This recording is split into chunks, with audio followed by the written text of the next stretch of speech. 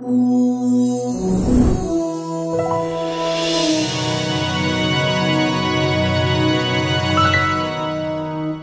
and welcome to Wake Up America.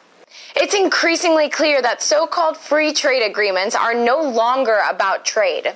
They are now global governance agreements that usurp our Constitution and undermine the power of our elected officials. One of the most disturbing aspects of these agreements is that it is not just foreign interests attempting to affect our laws through free trade agreements, but our own companies as well. Up next is a look into the Trans Pacific Trade Agreement and how it will destroy our patent system. US based multinationals who now have no allegiance to the United States at all are attempting to shape these agreements in ways that will allow them to circumvent laws set by our Congress. This is not the way our democracy was meant to work. It is a perversion of the original vision of our founding fathers.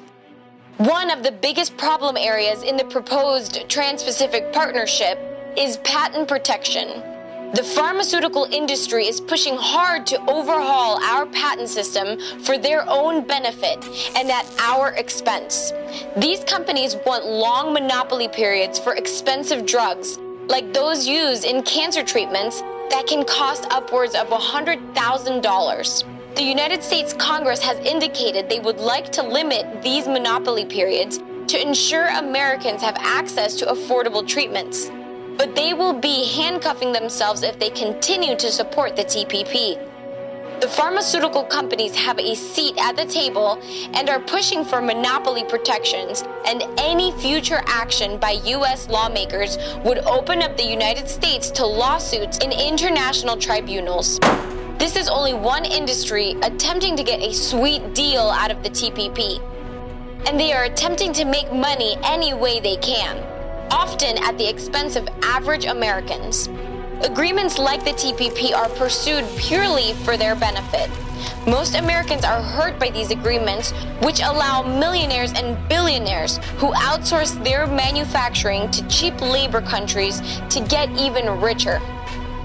Americans need to wake up and see their lawmakers are either ill intentioned or foolish. Either way, any member of Congress who votes for an agreement like this that would hurt American citizens need to lose their jobs. As we approach the midterm elections, it is important to ask candidates what their position on these important global governance agreements is. Any candidate who supports them should be denied office for the good of the country. It is really that simple.